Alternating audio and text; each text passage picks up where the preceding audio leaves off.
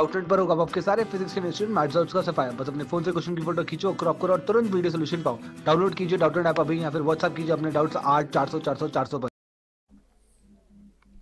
Okay, so our next question is which of the statements about the reaction below are incorrect?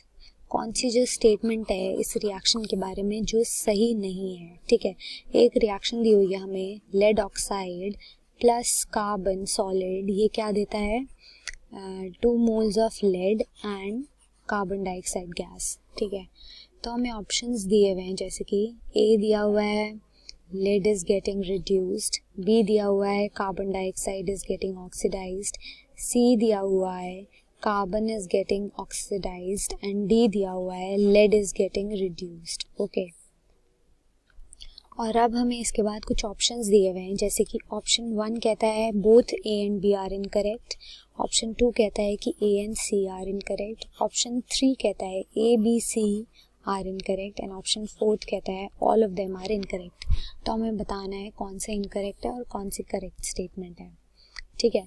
First of all reduced और oxidise को discuss करने के लिए, करने से पहले हम डिस्कस करते हैं कि ऑक्सीडेशन और रिडक्शन होते क्या हैं। ठीक है?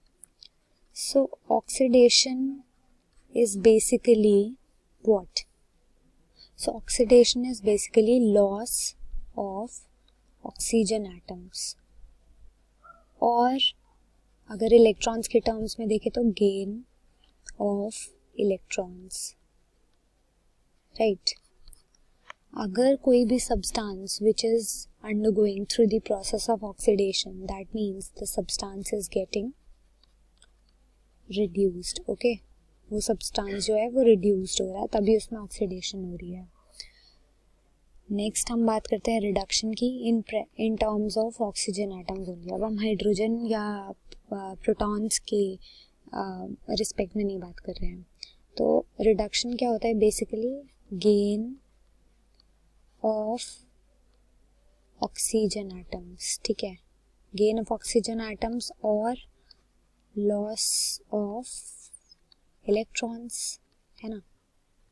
तो अगर कोई सब्सटेंस जिसमें रिडक्शन हो रही है that means the substance is getting oxidised वो ऑक्सीडाइज्ड हो रहा है। सही है? तो हम पहले तो देखते हैं कि हमारी रिएक्शन क्या है। वील नोट डाउन सबसे पहले हमने लिया lead oxide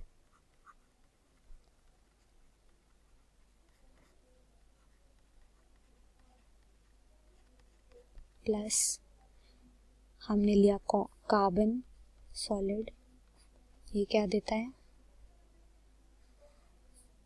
Two P B plus C O two होगा। कार्बन डाइऑक्साइड गैस ठीक है। अब हमें ये पता चला कि दो कंपाउंड है हमारे पास। एक तो है लेड पी बी में क्या हो रहा है? In P B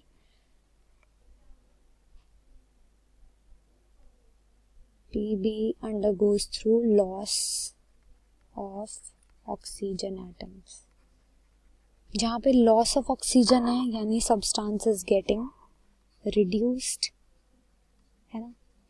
similarly carbon जो है, वो कार्बन डाइऑक्साइड में चेंज हुआ, यानी कि उसने ऑक्सीजन गेन करा है।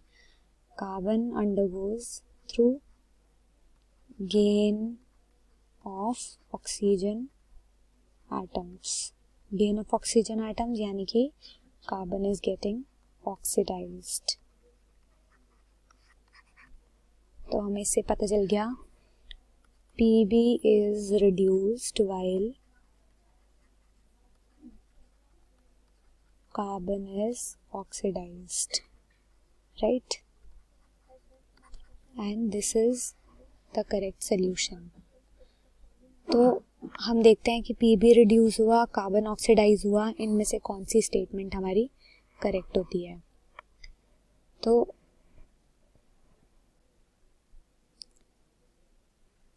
पी बी रिड्यूस हुआ, ये सही है हमारी स्टेटमेंट और कार्बन ऑक्सीडाइज हुआ, ये भी सही है हमारी स्टेटमेंट यानी कि सी और डी इनकरेक्ट होगी हमारी स्टेटमेंट कार्बन जो है